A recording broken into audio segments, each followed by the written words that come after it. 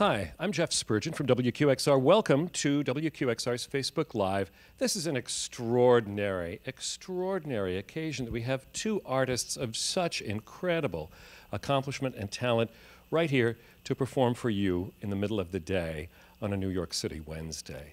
The tenor, Mark Padmore, who is renowned for the beautiful purity of his sound and yet a deep emotionality in his performances, and pianist Paul Lewis, who is famous for great imaginative playing and a gorgeous technique.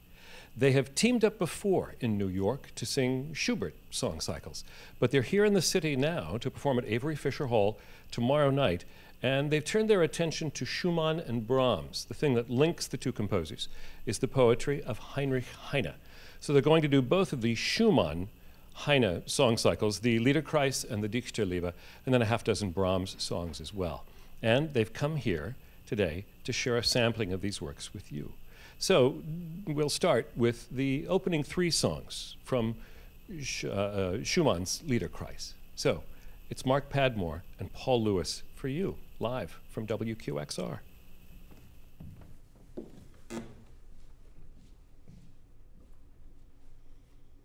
Morgen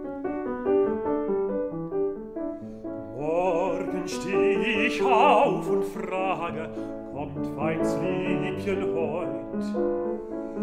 Abends sink ich hin und klage, aus blieb sie auch heut, auch heut. In der Nacht mit meinem Kummer lieg ich schlaflos, lieg ich wach, träumend wie im halben Schlummer, träumend und wandle ich bei Tag.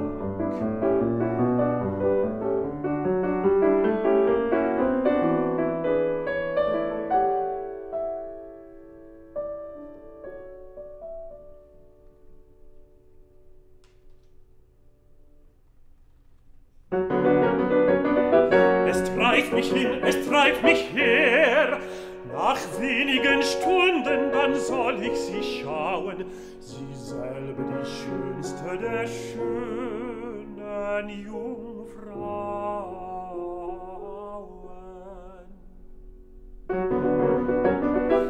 armes Herz, was pochst du schwer? Die Stunden sind aber ein faules Volk, schleppen sich behaglich träge, schleichen gähnend ihre Wege, tue dich, du faules Volk! Eile er mich treibend erfasst, hab wohl niemals liebten die Ohren, niemals, niemals liebten die Ohren. Heimlich im grausamen Wunder verschworen, spotten sie tückisch der liebenden Hast.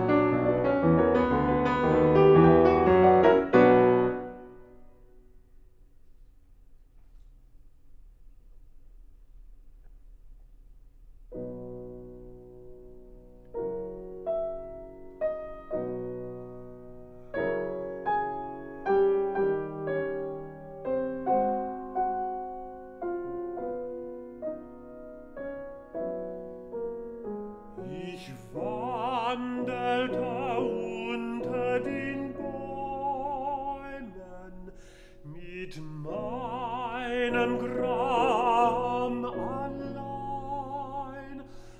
Da kam das alte Träumen und schlich mir ins Herz hinein.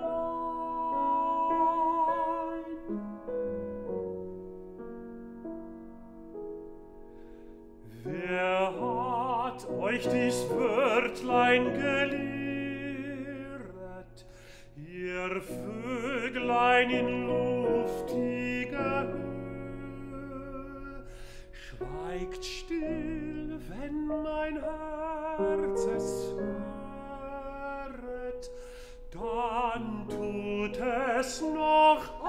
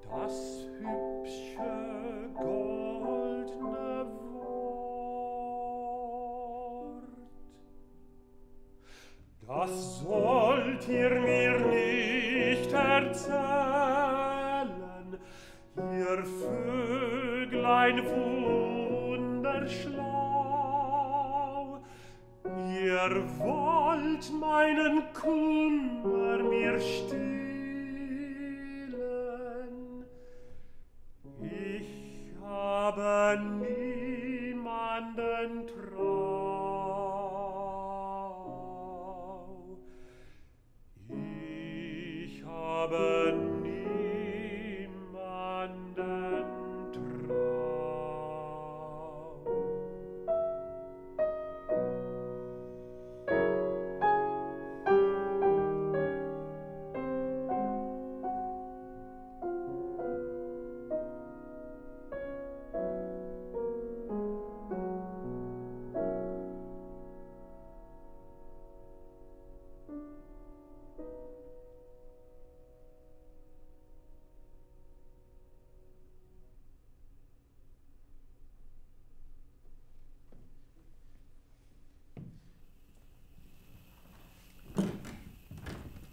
That one.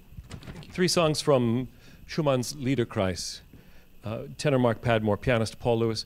Uh, Mr. Lewis, grab that uh, device there, and and talk a little bit, if you will, about Schumann's wonderful close. You get to sing the last words of the text, but very often in these songs, Schumann, know, he carries the thought forward. It's not even he's not even necessarily setting up the next tune.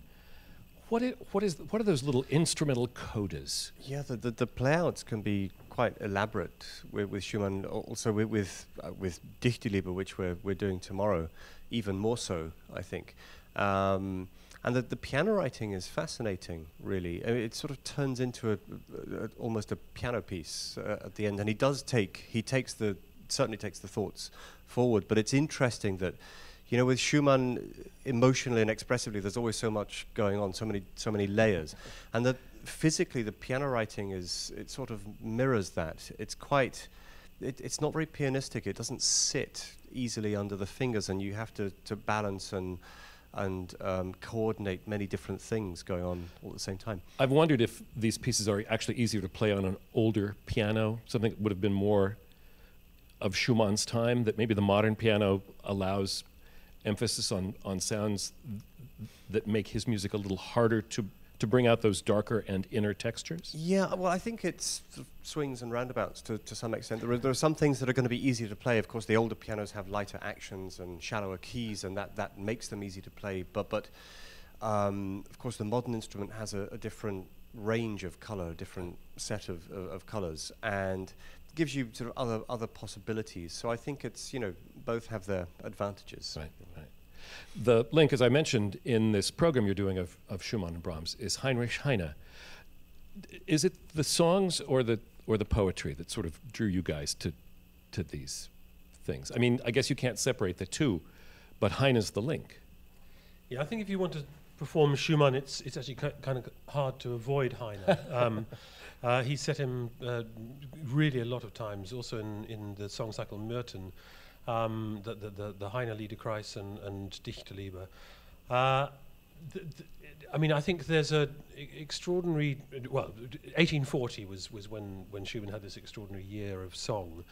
Um, and he, he suddenly writes 140 songs, having only written piano music before that. It's just crazy to Yeah. think about. No, no. I mean, it, and and you know they were pouring out of him, but it's a, it's a very interesting year in in his life. I mean, it, it's the year that he finally gets to marry Clara Wieck, um, the daughter of his piano teacher. Clara Wieck is one of the great pianists of the of the 19th century, um, and she is a sort of she's already um, well established. She started playing really recitals when she was 11.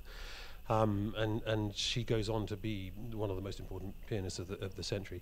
But, but they're living apart in this, in this year. She's, she's away in, in Berlin or on tour. And her father is not happy about his- the idea of this. his- the- her father is absolutely dead against it, and and uh, and Robert is in Leipzig writing this music and then sending it to her, and and I think that's what again it has it's really why the piano writing is so extraordinary is because um, essentially he's he's writing music that that he wants her to understand. Um, and she will then presumably sit at the piano and play it and, and probably sing it as well. I mean, the other thing I think it's interesting to remember about this music is uh, there was there wasn't a performance of of Dichterliebe, um, which we'll do tomorrow night, in its entirety until the 1860s, long after Schumann had died. Um, playing the piano on that occasion was Johannes Brahms, um, which uh, is another sort of interesting connection, um, and uh, and a, a baritone called Julius Stockhausen. Um, but but you know this this music was was written it, was to be read um, in, in many ways, not even more th- than be performed. I think you know it was, it's poetry. It's it's the way that you you, you sort of make sense of of a poetic language, um, and that and that is often by sort of you know that intimate relationship of, of reading something rather than necessarily even than performing it. Hmm. Mark Padmore and Paul Lewis. I'm going to stop. We could talk more, but you've also agreed to sing some more for us. So we've started the Liederkreis, but now we're going to finish it. So the last two songs from that cycle with these two great artists here at WQXR.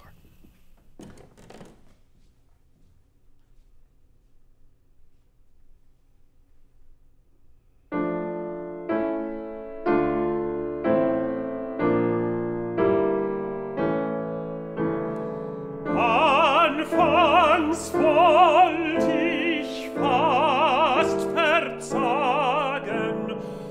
Und ich glaubt ich trüg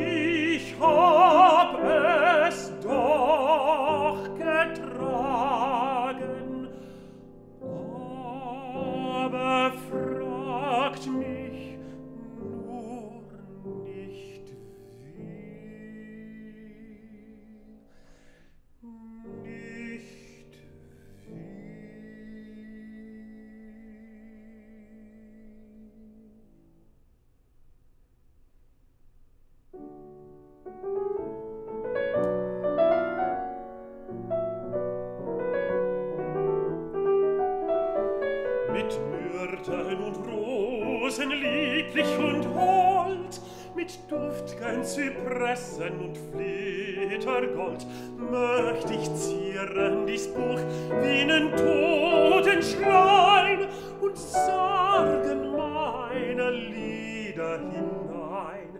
O könnt ich die Liebe Sorgen hinzu?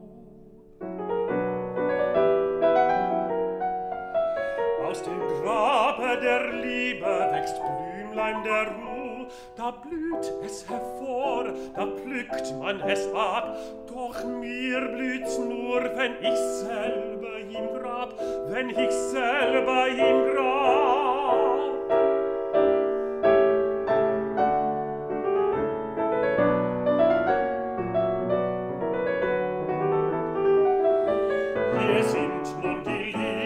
die einst so wild, die eine Lavastrunde die Bettner entquillt, hervorgestürzt aus dem tiefsten Gemüt und rings viel blitzender Funken versprüht.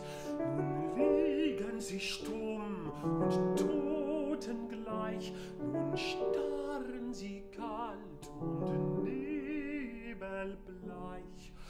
Doch hab's neu die alte Glut sie überlebt, wenn der liebe Geist einst über sie schwebt. Doch hab's neu die alte Glut sie überlebt, wenn der liebe Geist einst über sie schwebt. Und es wird mir im Herzen viel an und laut, der liebe Geist einst über sie taut. Einst kommt dies Buch in deine Hand, du süßes Lieb, du süßes Lieb im fernen Land. Dann löst sich des Liedes Zorn,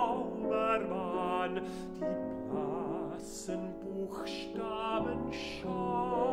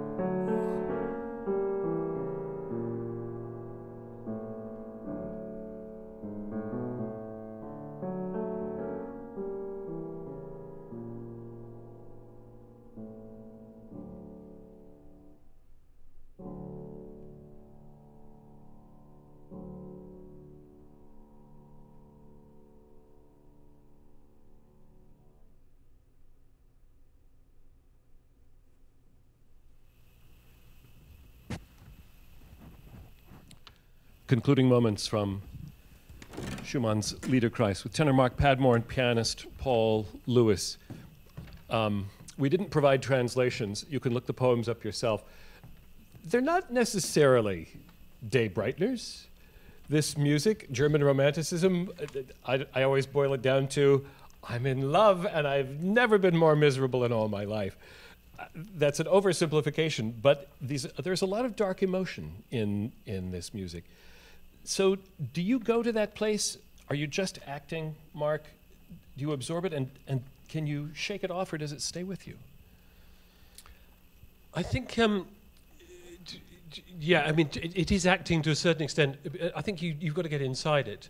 I, I love this poetry. I think it's, um, it, it, particularly the, this this song cycle seems to me all about separation. I mean, it, you know, even the, the end, the last song is about about sending songs to the to the distant beloved. The distant beloved was a great sort of trope in, in, in this this period. That Beethoven writes "An die ferne Geliebte," um, you know, on, on that.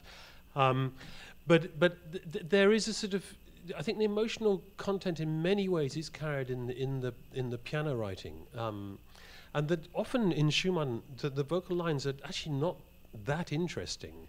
They they they're, they're, quite often your your melody is not actually sort of as as sort of fine as, as what's going on in the piano, and I think it's really important to balance the listening. Um, uh, in in the, the experience, but um, uh, in, in in in the lieder repertoire, it's not all about the voice. I mean, I, I just you know, however much we might sort of admire the great sing- the great lieder singers of the past, the Fischer Dieskau's and and whatever. There's some in the present, too. Some, some in the present too, but I think that really you should. Th- there's there's three elements. There's there's the words, there's the voice, and there's the there's the music which is being carried in the, in the piano writing. And often the piano writing is exceptional. I mean, it's some of the great piano repertoire. I think um, in in in all of. Uh, in, in all of this song repertoire, so so I think it is quite important to, to get that balance sort of a little adju- adjusted. I appreciate that you suggest that the listener has to do some of that as well. That's just wonderful. So then let's talk about how another composer takes texts by this same poet and applies his technique to them. Brahms. You're going to do a couple of Brahms songs uh, for us today and a half a dozen on the program you'll do tomorrow night at Alice Tully Hall. There are a few tickets remaining, I'm told. If you want to grab some now, might be a good time. Paul, how does how does Brahms treat the piano in his settings for songs of poetry by Heine?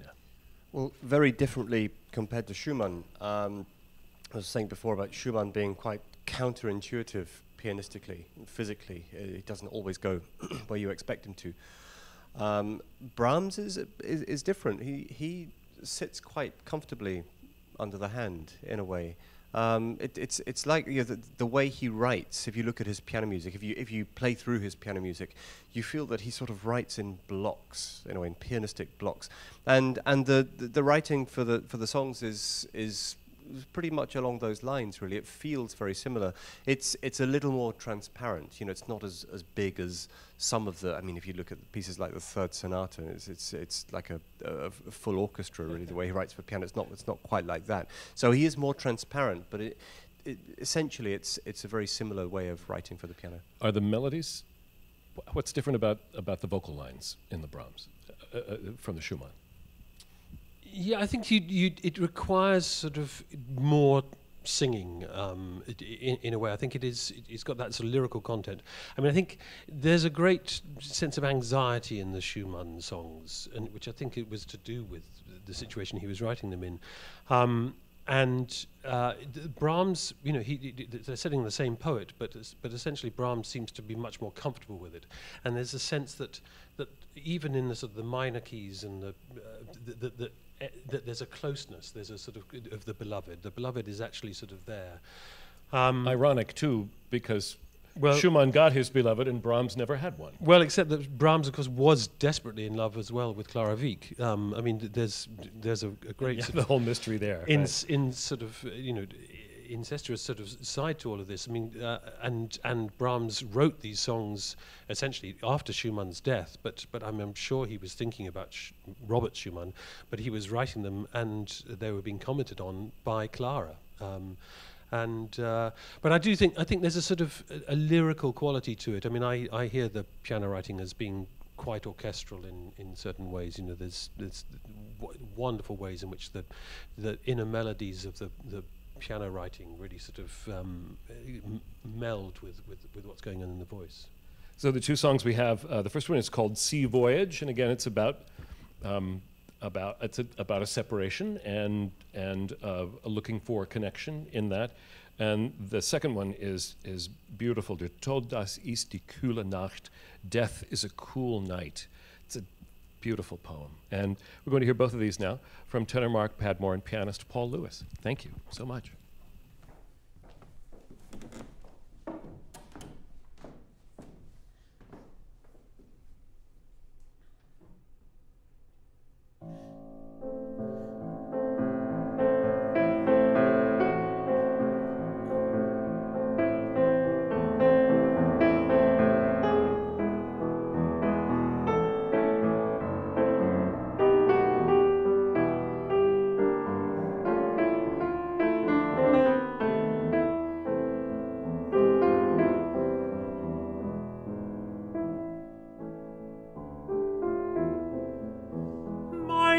Liebchen, wir schwangen hinüber den weiten, weiten Strand.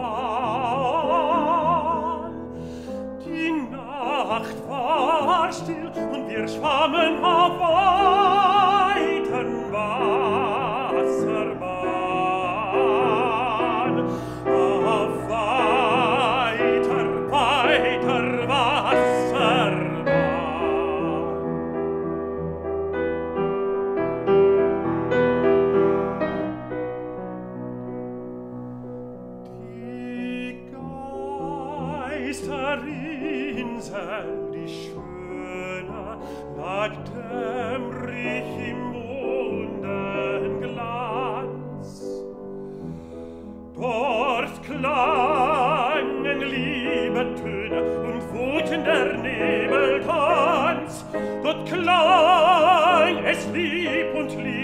artful.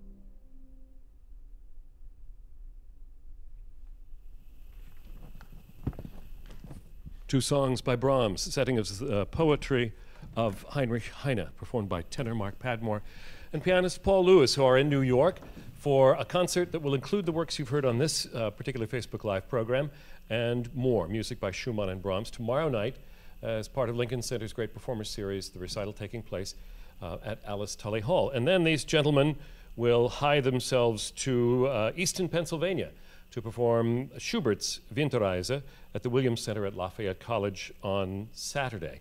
And then there are other things ahead.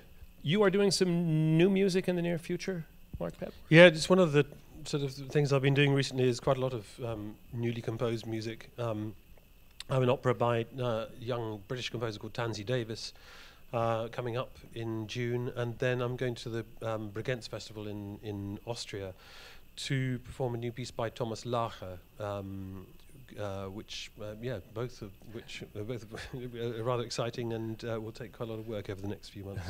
is that a is that a refreshment for you to do new music? Is that part of your sort of philosophy of being a performer?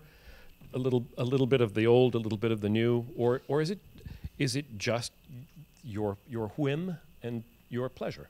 Um, I love the line from T.S. Eliot, "We shall not cease from exploration," which was, um, is, is kind of um, what I try to do. I, I, think you know either if you're looking at a piece you know well, you know Winterreise, Paul and I performed quite a number of times now, um, or the Matthew Passion, which I've done many many times. You, you, there's there's never an end to to what you can do with these pieces or what you can discover inside them.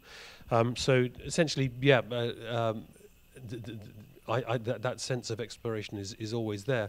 But with new music, it's a special challenge. You know, you don't have a recording to listen to. You, you've got to sort of make sense of it yourself. YouTube is of no help. Absolutely none at it all. It seems evil in a way. it seems evil. Paul Lewis, what's ahead for you um, in the next uh, interval, shall we say? Uh, well, I'm um, partway into a, a four recital, four program series of Haydn, Beethoven, and Brahms that I'm doing this season and next. Um, so all the late the late Brahms sets, Haydn sonatas, and Beethoven bagatelles and Diabelli variations. That's that's my main project for these. There's a lot days. of there's a lot of pleasure in there. I guess that if you want the dark side of that, that's that's the Brahms, but Haydn is just endlessly delightful at the keyboard. Haydn is just is wonderful and, and sadly still a bit neglected. Really, it doesn't uh, pop up on uh, recital programs as often as it perhaps um, should. You'll but- help fix that. Well, yes. I mean, it's it's you know Haydn really is one of the few composers that can make an audience laugh out loud. That's right. And you know, th- it's just it's wonderful music. It's surprising. It's creative, and it's it's so engaging to listen to. And you'll be back this summer for mostly Mozart. I'm back in the states in the summer for mostly Mozart and, and Tanglewood as well. Very yes. good. Well, we'll look for you then. Gentlemen, it's such an incredible pleasure and really a privilege for us to have you with us today and to get this preview of your recital at, um, at Alice Tully Hall tomorrow, um, uh, tomorrow night. So thank you both. Tenor Mark Padmore, Paul Lewis, a great privilege to have them here. And thank you so much for joining us for this special Facebook Live presentation from WQXR. Uh, keep an eye out. We'll be back with more of these performances as time goes by. Thanks so much for watching.